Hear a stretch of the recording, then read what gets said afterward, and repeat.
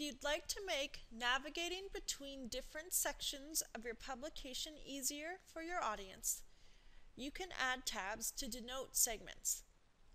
Choose your tab label, the page where it will sit and take a read or two when clicked, and then specify a tab color if you like. Click Save Tab when you're happy with your settings.